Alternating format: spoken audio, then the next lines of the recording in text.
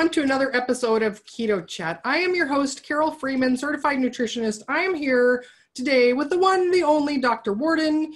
And uh, let me just pull up her bio because she's a pretty amazing person. Um, uh, Donese Worden, NMD, is a is an award-winning physician, global health educator who expertly and compassionately bridges the worlds of conventional, allopathic, and advanced alternative medicine. As a naturopathic medical doctor, she is licensed in administering both pharmaceuticals and nutraceuticals. Her passion is in helping people interpret medical science so they can take charge of their health and make informed decisions. Welcome, welcome, welcome, Dr. Worden. Thank you. Thank you, Carole. Where are you where are you joining us from? I'm in Arizona right now. Arizona, and okay. uh, yesterday it was 112 or 13. Today's 102. So we're like loving it. Oh my gosh, it's it's like sweater weather there now, right? yeah, yeah, yeah. on, on the the cruise a couple months ago, I was joking about the people on the the cruise that were from Arizona. We could recognize them because you guys would be the ones wearing sweaters by the pool. Right, exactly. At 70 degrees, we're literally shivering. Yeah. yeah. yeah. Well, uh, wonderful. I'm so excited to connect with you and ask you some questions. So, I mean, just to start with, can I just, I want to, I'm curious, what's your story of how you got into medicine? Uh, long story, but really, my son at five years old was getting college credit, and I'd always been interested in medicine. At that time, I was working in nutrition with the, um, some uh, professional athletes and competitors. So I'd always been into nutrition, um, and I knew that there was, when I found out that there was a, um, a school that allowed me to be uh, learning the traditional side alongside of the and be licensed in the alternative, I said that makes sense to me. As I was sitting there outside of his door at college at five years old, I said I might as well go back too. So it's great. Wait, five year old in college? Tell- Yeah. Tell me about this. Getting college credit, yeah. He uh, was uh, there was a program uh, for gifted children at ASU, and he was enrolled into that program and uh, was taking college credits. I mean, I Oh my gosh. and was flying planes, and you know, it's a it's a long story, but a great story. Yeah. Oh my gosh, proud mama. Like, what was it? I mean, this is a total tangent here, but I'm so curious. Like, what was it like? I mean, obviously, boy genius, right? Like, what was it like? Right, but he was socially adapted. You know, a lot of the kids that are that bright aren't socially. But oh man, he he was everybody's favorite bud. My my friends wanted to hang out with him. He was just a fun kid, loved everything, was good at everything, and just super super smart. So Wow. uh, didn't want him to be bored. But you know, we put him back into regular school about fourth grade. He said, "Mom, I want to go to regular school instead of sitting outside with the heads of the departments at ASU learning physics." I mean, it's going to be interesting and it, it's been an interesting ride with him but um, yeah so what? That's really cool. So your child inspired you to. child inspired me to go back to school i had my master's degree and like i said i was working in nutrition i'd been in the television business i'd done quite a few things but my mother was the ultimate naturopath without knowing it i mean she Okay. was having us eat yogurt and and would read everything out there and literally she was a naturopath with, before we knew what that was Okay. Did Yeah. where did you go get your naturopathic degree? In Tempe, Arizona, Okay, one of the okay. four accredited schools. Actually, there's five now. We've got Canada, but one of the four accredited schools. Okay. Um, I, I'm curious then. What you know? What's your son up to now? He's doing quite a few things. He's actually kind of an entrepreneur and starting his own business and doing um, um, a designed a clothesline and a logo um, in the uh, in the hemp community, which is interesting. Because I'm sitting on the fence on that darn thing, but he's not. Uh, he he he's uh, likes the the health properties of it. So, yeah. Cool. Well, I'm I'm sure he's just, uh, you know, he's got a mind of doing a bunch of different things, and and I'm sure. yes, with yes, he's yep. He's enjoying that right now. We'll see what he jumps to next. Oh, that's really cool. Yeah. Well, thank you for uh, indulging me on uh, that Sure. curiosity too. So, um, yeah. Well, okay. So you got you got into medicine that way, and then what was it? You know, what was the the journey like of getting your degree, and then, you know, did you quickly have a specialty or passion as you went through school? Like, Yeah, my passion has always been health. People say, "What's your specialty?" And I say, "Health." So. Um, okay. you know, I, I, don't care if a patient's coming in for heart disease or diabetes or cancer or whatever it is. It's individualized medicine. Look yeah. at that patient. Look at their mind, body, soul. Look at their physical. Figure out what they need, and be a good diagnostician. Okay. So, you know, it's not about the disease. It's not about what they have. It's about what they need. Okay. Okay.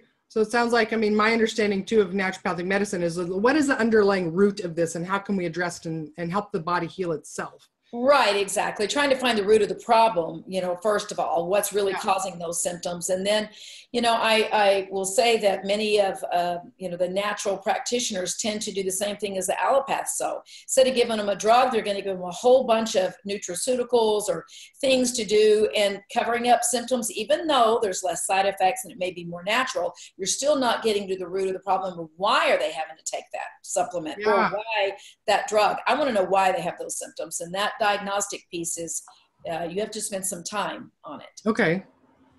Well, and so you know, along those lines, then what what kind of tests are you running routinely for people to kind of look for those things? Well, it depends on what their symptoms are and who they are. You know, there's uh, some unique tests along the line of ketogenic you know i know we're talking about that today and, and maybe let me back up just a little bit and say how i kind of got started into that yeah um, so i work i design and conduct some clinical research uh, with some major institutions so i've been in the research side of this as well and um, oncology kept coming at me and you know how could it not when about one in two people are going to have it my patients and and bringing them in. And I said, I don't want to specialize in this. Well, it kept coming and kept coming. And sometimes you hear the door knock and say, okay.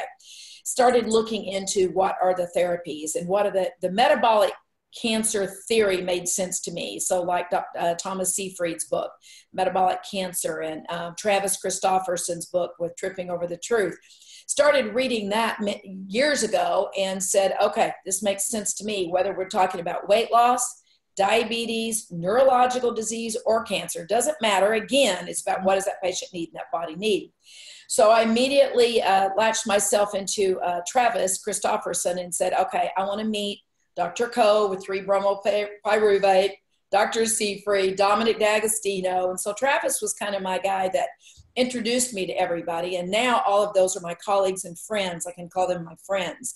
Mm. And I'm on a, a, continual basis in with all of those in talking to them about their research and what they have going on and how they can you know how i can help them either with the message or collaboration to bring all of this forward.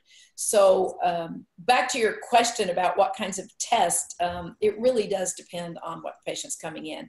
I'm not about let's spend thousands of dollars on everybody. They have that expendable income. I've got all kinds of things we can look at but i want to look at them as they appropriately need. Some interesting ones I think that I run more often now, whether again, kind of cancer, weight loss, neurological, if we're on that metabolic or ketogenic deal, is looking at the MTHFR gene, the methylation gene. That makes a big uh, difference. If we have that, it needs to be addressed looking at leptin, which is a hormone that tells the body to store fat or don't store fat. Some of the people that are doing keto, ketogenic diets are doing everything right. They're not really stressing out to dump the sugar. There, there's no other reason. I'll look and I'll see that leptin gene. So mm-hmm. that needs to be addressed too. That explains some things uh, ApoE, looking at that, the genetic side of them, uh, trying to see genetically what's their pattern, you know, their, their ratio of natural genetic ratio of carb versus protein, this and of that. That way we can tweak just a little bit on whatever diet that they're doing. See what else micronutrient testing, uh, mm-hmm. looking at the white blood cells to see um, it, are there any deficiencies in amino acids, proteins, uh, vitamins, minerals, essential fatty acids, looking for true deficiencies. Not what's floating in the blood, but what's not getting inside those white blood cells. Um, let's see, lipid profiles, and it's not just looking at their cholesterol. We want to break down the different cholesterols.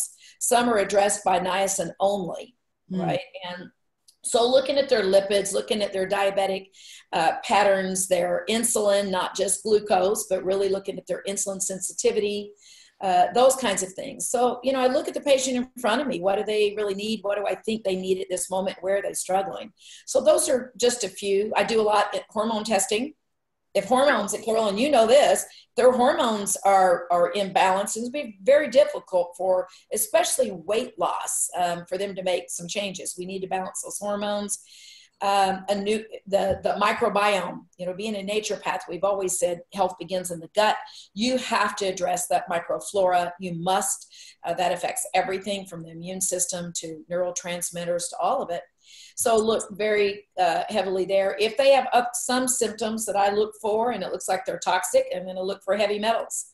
I'm going to do urine challenges and see do they have toxins and solvents and those kinds of things on board because if they're high in those, the body won't let go of that fat. It won't let go of that last little bit because it's self protective. The body knows that it's storing those toxins in that fat.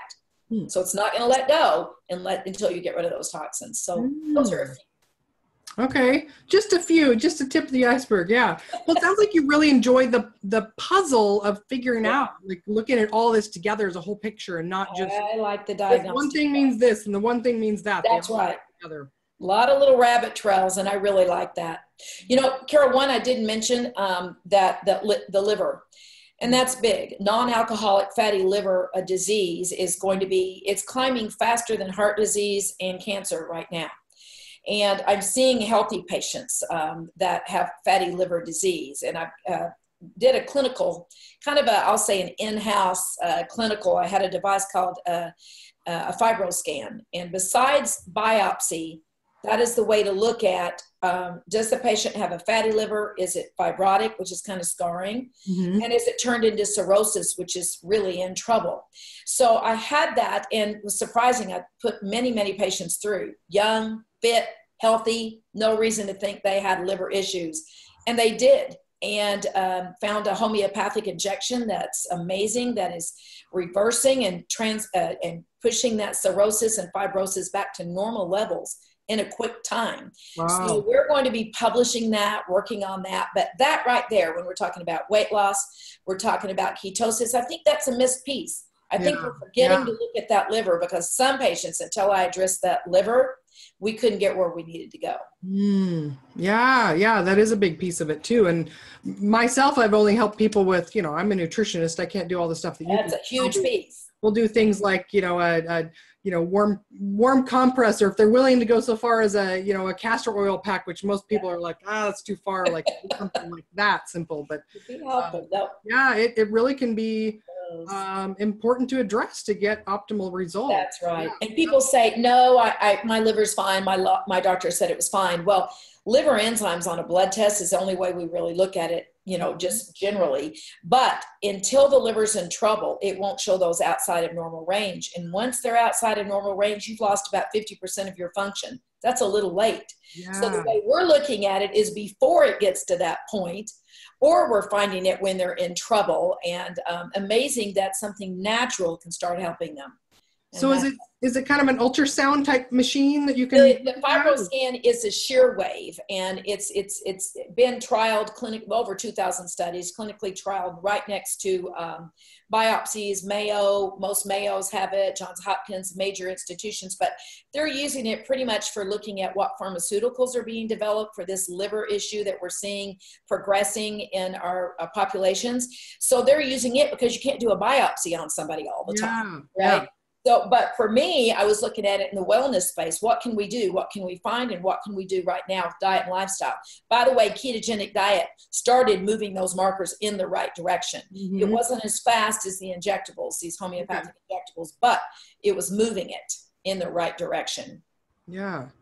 Well and I, I i'm so glad you're sharing this too because so many of the people that i talk to will say oh i'm healthy but i just want to lose weight. And right it's things like that these the scan that can actually show people that you're not as healthy as you think you are. that's right that's right. And and maybe that weight is not coming off the way that it used to or the way that it should. They think they're doing everything right and it's not coming off. Another simple test that i do a lot of for almost everyone that comes in is um, food sensitivity testing. Now it okay. is it is controversial because we're not saying it's a food allergy; it's foods that cause inflammation. Mm-hmm. Uh, but I will say, in my practice for uh, thousands of patients, this has been one of the most beneficial tests that I run. Take the patient's blood, look at what foods cause inflammation, because they can go on a ketogenic diet but if some of those foods are high sensitivities for them and they're causing inflammation, that's why it can't work like it's supposed to. Hmm. So that's that's a test I do um, on almost almost every patient. Okay. What we put in every day, as you know, being a nutritionist, very important.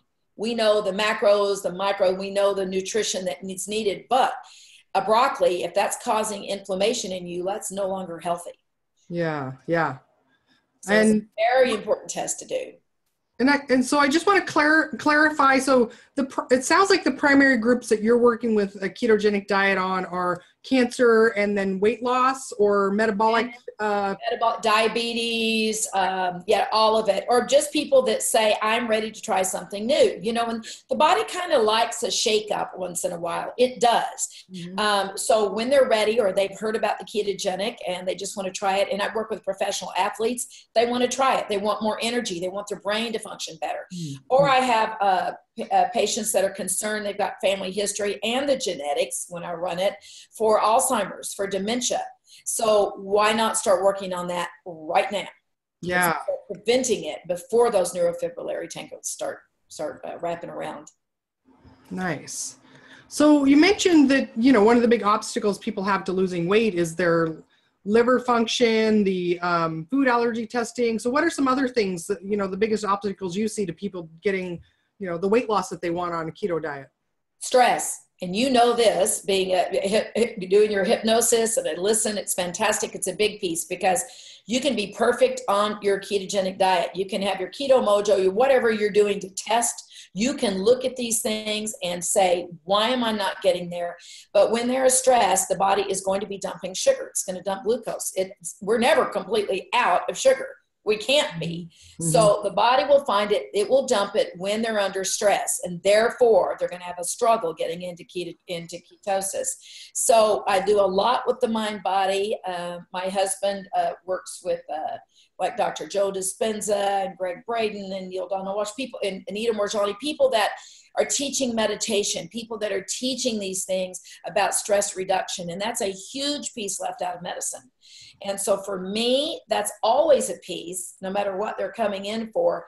But uh, I think we really, really have to address that more because mm. the body's going to dump that glucose one way or another, especially yeah. if we're in stress. Yeah. And how about sleep? I'm sure you're, you're working a lot on that very, too. Very much. And that's part of that stress. It's usually yeah. busy mind or their hormones. You know, their mm-hmm. hormones can be, uh, there's cortisols reversed, uh, their AM and PM, which is a hormone. You have to look at the hormones. You have to look at the reason why they're not uh, sleeping. If it's busy mind, they can't shut it off. We do really well with music, certain types of music uh, that has frequencies in it that can, the brain waves can match or entrain and just calm that brain wave down and get them to sleep. I love that. They're not taking a pill. They're listening to a certain type of music, right? And get them to sleep. If they're waking up during the night, we've got to see, is it having to use the restroom? Is it, you know, what's the problem? And one that's kind of interesting is people say, well, I wake up at night. I don't sleep through the night. And I said, well, what time are you waking up? Mm-hmm. And I mm-hmm. don't know if you've addressed those uh, Chinese medicine circles and times on your on your on your shows, but if they're between one and three or three and four, it really depends on their liver. It depends on their lung channels, and in that case, I find it to be more emotional. If they have unresolved anger or grief, they're going to be waking up during those times during the night, no matter how many sleep aids and how much they take. Our body's strong and it's going to break through any medicine or melatonin or anything because that subconscious is still stirring i'm still mad about or i'm still grieving about so what's, we have to work on that during their waking hours what's the uh, what's the uh, i'm so i tend to see the three o'clock awakening which is the yeah. liver from what And I understand. Well, it's on the cusp of liver and and lung, so it's kind of the grief anger which comes together a lot. And Oh, most okay. people, most patients, when you talk to them and you just say, "Listen, if you'd have told me the time is anywhere between eleven and five, it's random, it comes and goes," that's probably how much water they drank, dehydration, all that. But when they give me an exact time, I say, "There's no other explanation." Yeah. I mean, we could get into cortisol, this and that, but it wouldn't be that exact.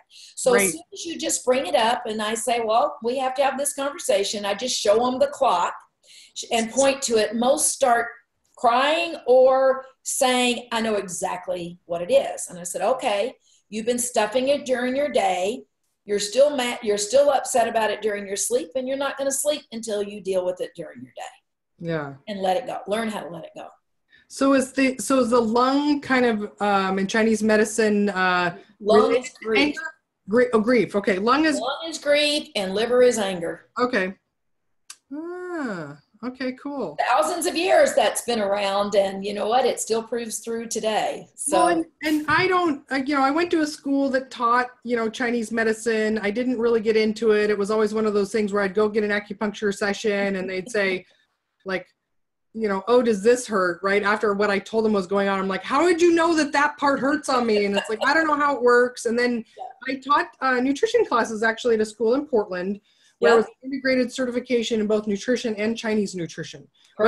Chinese nutrition. yeah And so it was really cool sitting in on the classes as my co-teacher was teaching them about pulse and tongue diagnosis and when I Right. got to sit in a supervised clinic, which again, it's like logically in our Western trained mind, right that's just hooey, you know, yeah yeah yeah, yeah. That that's just you know woo woo stuff. That doesn't really work. But I would listen with my Western trained ears about the the complaints that the person was having, and I would say, well, that's this and this. And then the uh, then we'd compare at the end the other instructor that was doing it from the Chinese perspective, and she would say, "Did their tongue look like this? Did they look at this?" And they say yes.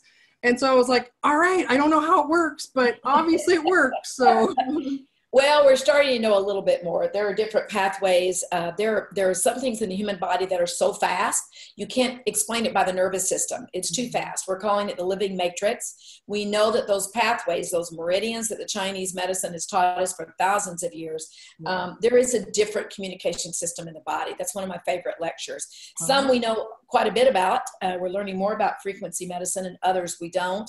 But um, an interesting study that you'll find for those that are still saying, I'm still on the fence about all that. yeah, love this one is that um, the powers that be said, okay, if acupuncture works, tell us with vision where you would put a needle. And so an acupuncturist said it would be in the bladder meridian, it would be on the foot. Now that's about as far away from the brain as you can get, right? So, which that's where in the back, the occiput, in the back of the head, that's where the vision area is for the body and the brain. So the powers that be said, it, so you're telling me stick a, needle in the foot and it's it should light up in the proper cortices of the brain. Hmm. Well, it did. As Mhm. soon as they put the needle, it lit it up. But then what's interesting is what was faster than the acupuncture needle was light, like with cold lasers, and I use lasers a lot in those acupuncture meridians or on those spots. Light was faster, and then what was even faster was sound, Mm. sonopuncture. So that's the Oh, music side. So Okay. I love all of this frequency, and we're, you know, the ketogenic metabolic guys are kind of, they like that because they kind of get it that, you know, we don't need to st- stay in these same patterns of diets and exercise and lifestyle that we have. There's a lot more to us, and um, uh, they're a lot more open. Yeah. Oh my gosh, all that stuff is like we have a thousand different topics we could talk about on That's future right, that's it. Um, all right, so kind of switching gears or totally switching gears is is I you know what about exercise on a ketogenic diet? Right. Again, I think it's individualized. What does that patient need? Just like with cancer patients, we know if they were couch potatoes, they need to get up and move. That's what will make a difference. If they were extreme athletes, they need to calm it down because we're creating too many free radicals, right?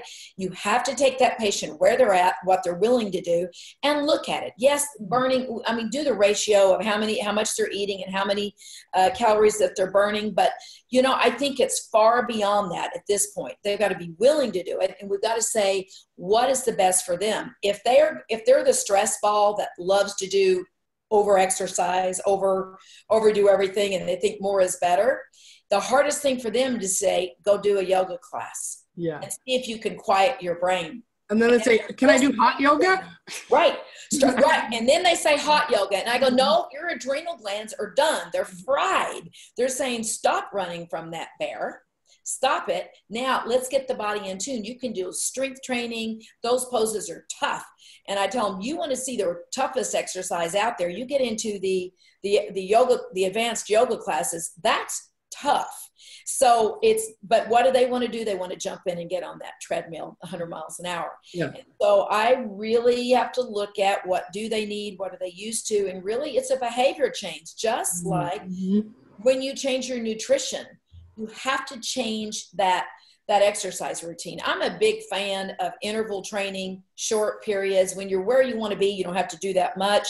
But you know, we know that those short periods are better than an hour on the treadmill. We know that interval pushing, you know, fast, the fast slow, fast slow is very good for most people. And even people that are out of shape, they can get on a bike and start a little bit of, of interval training. Um, so I'm, I'm a big fan of that and yoga. Oh, wonderful. Yeah. Um, all right. So then another commonly asked uh, question on keto is what about supplements? What do I What do I need? do I need a thousand supplements? Right, right. I'm never a fan of a thousand supplements. There are basics that everybody needs. And, you know, those of us that have been working with keto for a while, we know that at the beginning, before we know what you know now, what you're putting people on through your program and watching all of this, but a lot of them are doing it on their own and they're getting leg cramps. They're getting all these things. They're mineral deficient because they're not getting enough vegetables. You know, they're, they're, they're following this pattern, but they're not quite getting it. So I I do most people that are on a um, on a ketogenic diet. I'll put them on a multivitamin mineral, especially the minerals. That's the piece. Hmm. Um, it's tough on keto to, to to do that. You can do it, but you have to really know what you're doing. So minerals, um, uh, fish oil, omega threes, um, good ones that we know get absorbed. Uh, probiotic for that microflora, and then the rest honestly would be that individual patient what do they need? Do they have inflammation going on?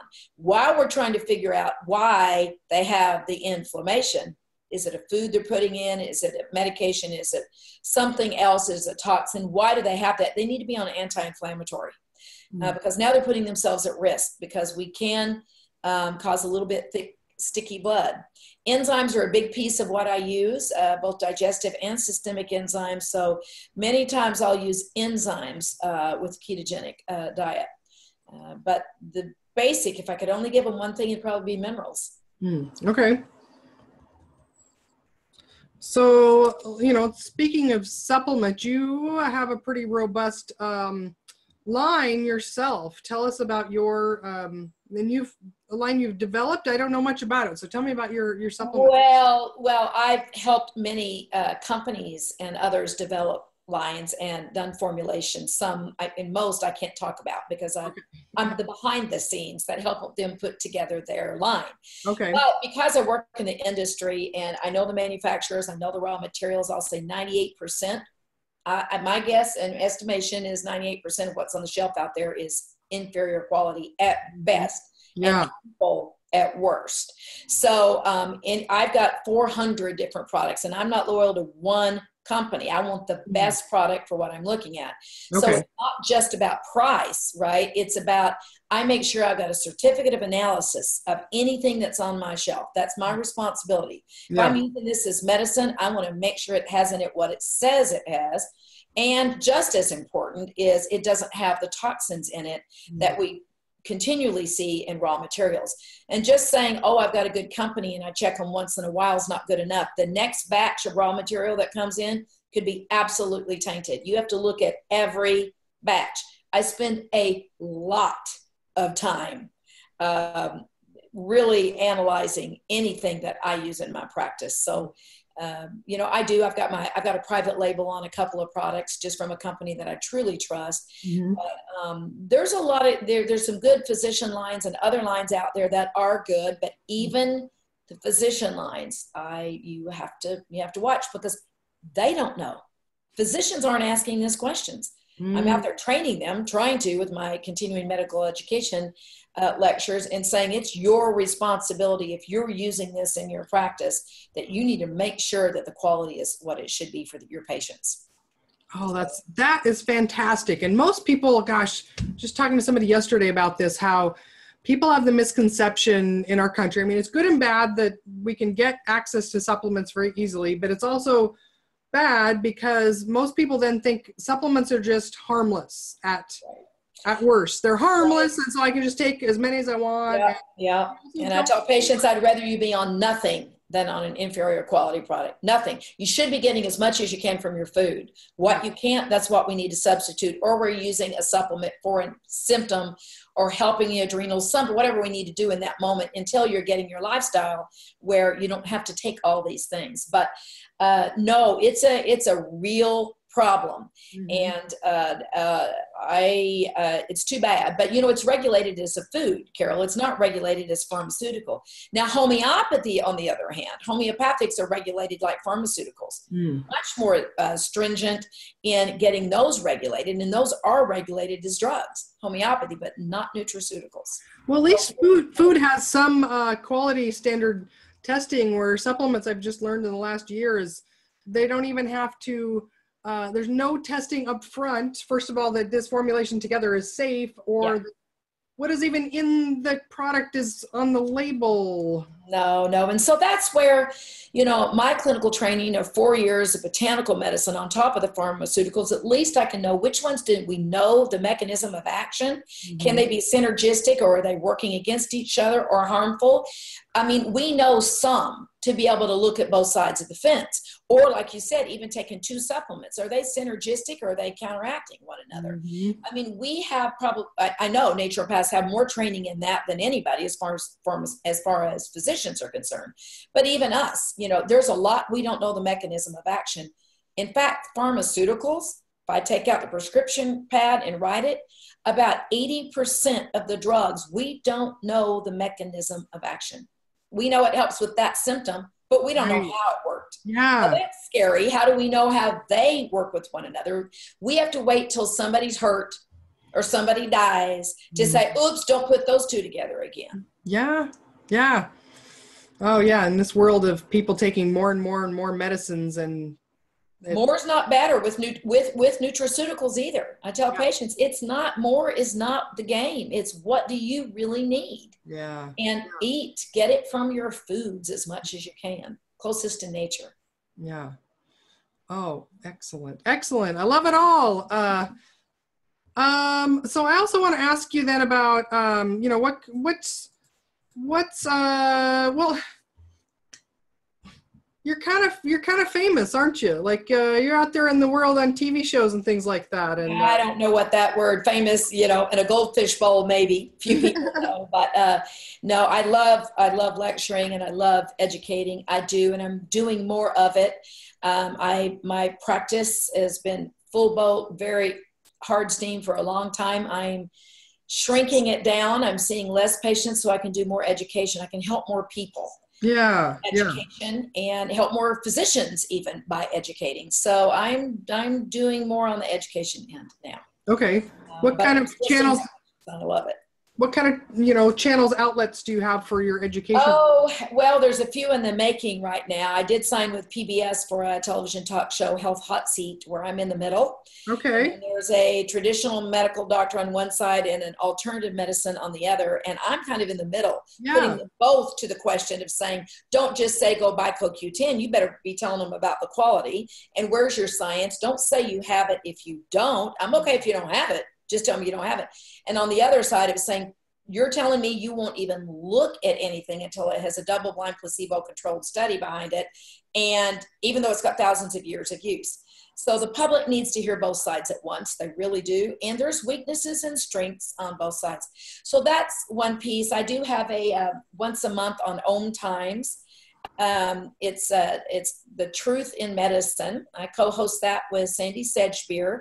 Uh, the other three, she's doing her hosting with the all the metaphysical world that she does.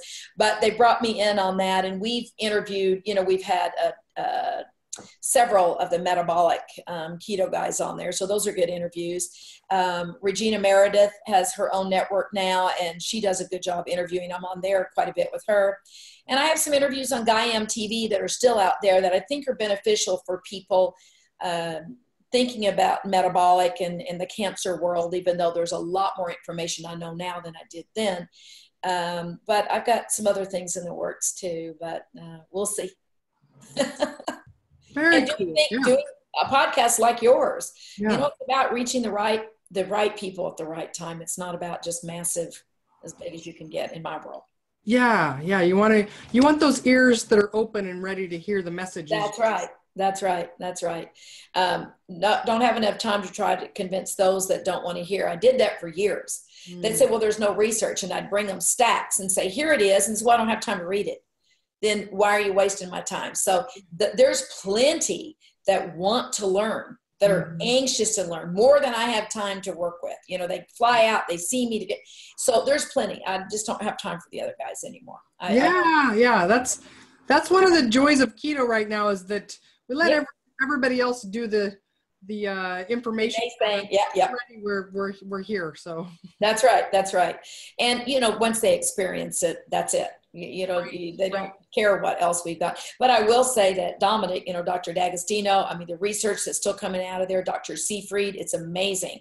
So Dr. Seyfried and uh, Dominic D'Agostino and Travis and I and Dr. Robert Elliott, which I want to tell you about in a minute, uh, we get on once a month and we have a call between us. And my, my, my real role is just to say, how can they collaborate with one another to bring all of this research forward faster um, into the major institutions or at least bridging it as best as we can so that's exciting to hear those um, those researchers and and and oncologists in, in uh, dr elliott's um, position it's amazing what they have going on what's going on in the labs and to hear it before it's out there and it's just exciting because as the type of physician I am, I can try some of those things before it becomes standard of care because my license allows me to do natural therapies. If I was an MD only, I wouldn't even be able to touch it.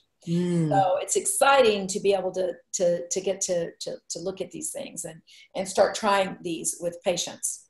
That's wonderful. Wonderful. Yeah. You you are very you're a very privileged privileged doctor that you get to do. I am. I feel very honored to to listen to that discussion and that collaboration going on with them. Um, they are they're amazing, and um, I'm just uh, tickled pink, as we would say in the South. Wait, are you from are you from the South originally? Then? Here in Louisiana, but I've been in Arizona longer than anywhere. But Louisiana's still hanging around a little bit. Yeah. Right. Let me let me tell you a little bit about what Dr. Robert Elliott has going on. I want people to know this. Um, okay. he's kind of quiet. Uh, nobody in in the keto world uh, knows yet. I mean, the researchers do, but I want your listeners to know. Um, Dr. Elliott has been a fan and been utilizing ketogenic diet in his oncology patients for a long time now. He believed in the metabolic theory of cancer, and he knew about it because for 60 years he's been he's a breast cancer surgeon. Uh, he does other types of cancers now, but started there. And he would take that pathological slide out as uh, pieces out of the tumor and study it under a microscope. PCR, he is a researcher and he's got an amazing lab right now. They are studying, and he saw what was happening to the mitochondria. Now he's uh, he's he's produced many clinical uh, publications and research on the mitochondria inside the cell. He was the first one to transplant mitochondria from one cell to another when everybody said it couldn't be done. He's the one that taught us and showed us that iron feeds cancer. If you have high iron, you need to get that out.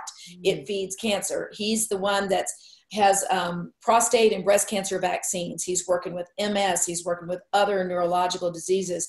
So he's a big fan of the metabolic uh, way of working with cancer um, and the immune system. But he's also teaching us and teaching uh, all of us now there's a timing, there's a time and a place for an antioxidant.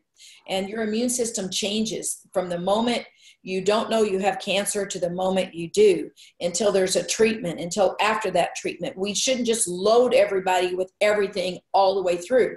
Wrong thing to do. So he, it, we're we're working together to come up with these timing protocols. Whatever you're deciding to do, chemo, radiation, ketogenic, whatever you're doing, the um, the uh, vaccines. There's a time and a place around that what you should be doing to help that immune system. So that's exciting, and um, I, I I can't wait for you to learn more about that. He also has taught us that antibiotics destroys the mitochondria inside the cell. Now we knew it was bad for us. We knew it caused the things that it does, the thrush, the you know this. We didn't know for sure that it was killing the mitochondria. He is putting his papers together on that. He already has one paper out and showing that. And he's got some other discoveries I can't quite talk about yet, but um, Dr. Elliott is is amazing, and it's good to hear him uh, with uh, the metabolic cancer group because they they they all know what they see, and that we have to address that metabolic piece and that ketogenic is a big way to do it. I will say he takes people off the ketogenic diet a few weeks before the vaccines. There's a reason that he does it because of the immune system. Then he'll put it back on. Hmm. so it's not not everything all the way through which is interesting. Hmm. i just thought of another uh, a bonus question here. Okay. who is not a good fit for a ketogenic diet you know, I haven't met somebody yet, even those that are insulin dependent diabetics. Now, you've got to be under a physician's care and do it, and I've done it. And um, when the study started showing that it was reversing, you know, the pancreatic islet cells, it was like, good grief. We don't need to be afraid, but you've got to be very careful in doing it. So, you know, um, people without a gallbladder, give them ox bile. There's a way to help them break that fat down. Yes. So, I haven't, you know, some people are more of a struggle with it uh, and you have to know what you're dealing with. If their liver is an issue, that has to be addressed. And I think that in the keto community, we haven't been looking at that close enough. Um, we're not, uh, we should be looking at that and helping that a lot, lot more than we are. So, uh, my opinion, I don't know anybody that it wouldn't be helpful for, but we may have to adjust it according to that person's pathology and what's going on with that patient. Cool, nice. Now, one group I found though that is a little maybe not ideal for a keto, at least at least the popular way of keto being done is is yeah. women who are already very lean. Yeah. And they're they're trying to be even leaner or they're trying to, you know, have a six pack and they're exercising yeah. seven hours a day. Yeah. Um, yeah. May, may, I mean, maybe keto in a certain way might be. I, I, agree, but I think your ratios do need to be changed there. I do. I mean, they may need a little more protein than we normally would. Maybe we don't throw them in as deep into ketosis as we normally would when we have pathology. We have cancer. We have, you know, a disease going on, Alzheimer's. We've got to be in ketosis to get there. But these women, I agree, they don't need to be um, thrown in as far, in my opinion and they I, I, find they need to make sure they're eating adequate calories too they, they don't want to and that's a problem. Yeah, so uh, yeah and you know and i tell them the story of and uh, probably 30 years ago we were working um, in nutrition uh, i was a, a, a, trainer a sports trainer and this and that and we noticed we had this group of aerobics instructors and that day every gym it was all about aerobics yeah. and they were eating nothing and teaching eight hours in a row of aerobics classes and they could not lose weight. Well, you know what? And low fat diet. We, mm-hmm. you know what the problem was? They needed the calories to be able to burn the calories where they needed to and be able to put on that, pr- produce that muscle. So I bring out that story quite often. Uh, it's about balance in the body. And when the body feels balanced and is balanced, it's going to do what it needs to do. And if you're taking it somewhere that's not healthy for the body, it's going to fight you. So if you want to be super, super skinny and lean, you want your body fat down to 2%, and you don't want your periods and all that, do it and compete, do whatever you're doing. But if you want to be healthy, you need to get back to balance. Mm-hmm. So, yeah. Yeah. Yeah. Uh, so I, I hear you got a book coming out. I do. Um, I've got to finish it, but we're we're we're we're get I'm, I we my literary agents after me to to finish it. But it's more about the mindset when you find out that you have cancer uh, mm-hmm. what to do in that moment. Uh, too many times I have uh, patients sit in front of me and say, if I'd known then what I know now would have made different choices. But more importantly, they're coming to me and they're saying, my doctor just called and said I have cancer. I haven't seen anybody else. I want to know what you think. And so I'm, I'm teaching them how to think through the process, how to make the decisions. It's not about what to make. I'm not trying to talk them out of one system over another because, again, strengths and weaknesses on both sides. It's about their belief system. What do they believe is going to help them and cure them? I believe that's the best. And yes, we need to know the stats. We need to know what we don't know and don't make promises where we shouldn't. Uh, but um, they need to know all the information so they can make an informed decision. And um, again, my take is I'm not going to judge you if you decide to do radiation and chemo. I'm going to, as long as you've got the education and you understand what that means and what it means long term, then, then I'm okay. I'm writing this with you and helping you make your decisions through it. Yeah. Right? So I think that everything is that nothing should really become a job or food or exercise. We need to be conscious about it and mm-hmm. saying, is it bringing me peace and joy and energy? Is it is it nurturing me or is it wearing me out trying to be too healthy? Yeah. And um, and with cancer, uh, the same. Uh, what is going to give the most uh, informed uh, peace uh, that that we can get? But informed, um, you know, I, I, I, love that I'm a member of the Society of Integrative Oncology, and this year they actually didn't award me just a lecture, but a workshop. And this is on these homeopathic injections for the liver that I'm talking about. And I, mm. I didn't think in a million years that I'd be talking about homeopathy in some of these groups, but uh, pain management. I'm a diplomate in pain management. It wasn't too many years ago they let me lecture on uh, injections, homeopathic injections for pain. So we need to quit saying them versus us. We need to be saying who's ready to hear the message here we are, here's the science of what we do know and what we don't know, and now let's work together. And I have many integrative oncologists that work with me at MD Anderson and other others that are in the standard of care, but they're willing to let me use cold laser on radiation burns, willing to let me do alpha lipoic acid so we don't got neuropathy, all of this. And one more thing, I know we're getting close um, MCP, modified citrus pectin, maybe that's a different show, but everybody needs to be looking into that. We know now the mechanism, it blocks galectin 3. It works on preventing and actually helping people with cancers, many different types, over 8,000 studies right now.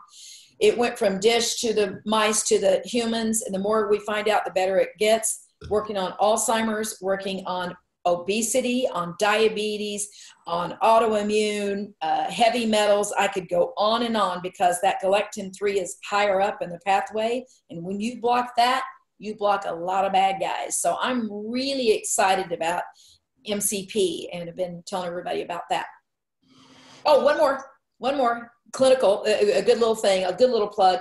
Coffee is, can be, can be the highest antioxidant out there, higher hmm. than kale if it's processed correctly.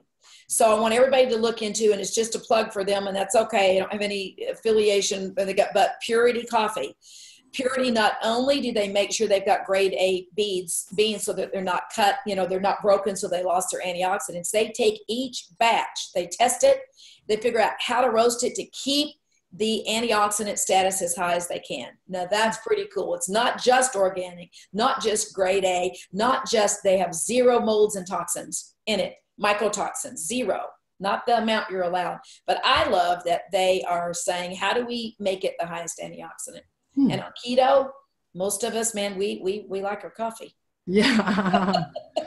yeah, wait. Oh, oh, I already put my cup in the dishwasher. So. Yeah, try Purity. It yeah. tastes good. You're going to love it. But I love that um, they literally test it for the antioxidant activity.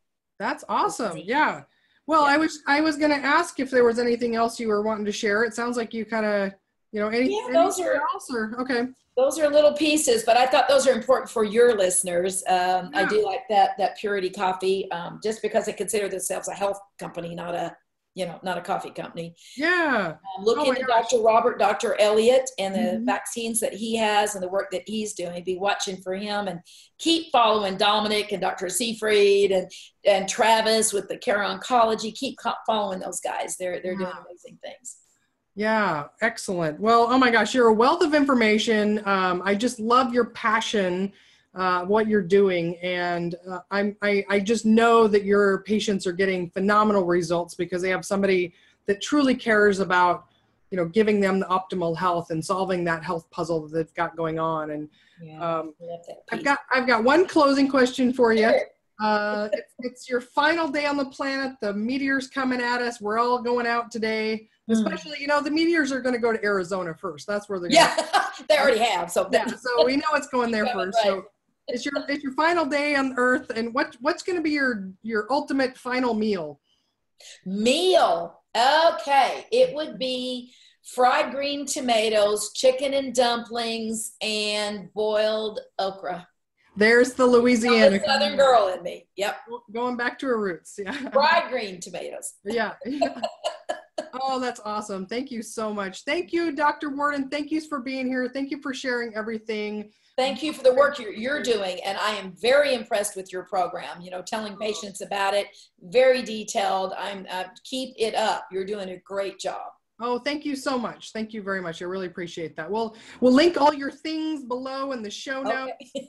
Um, I've been I'm really bad at those things, but I'm getting better at those things. Social media, I know that. I I've have got to. a full I've got a full page of notes. I'm going to tag all of this in the in the YouTube thing. Oh, So great. hopefully we can just get all the all the juicy uh, tidbits to get the most. Sounds great. So you guys can help us out, help more people. Here's how you can help. Like this video, uh, subscribe, share it. Um, that's how we can help more people. Um, that's what this is all about is, is transforming the lives of as many people on this planet as we can with, with keto and optimal health. So uh, you can help us help other people too. So um, thanks for watching. That's all for now. Bye, everyone.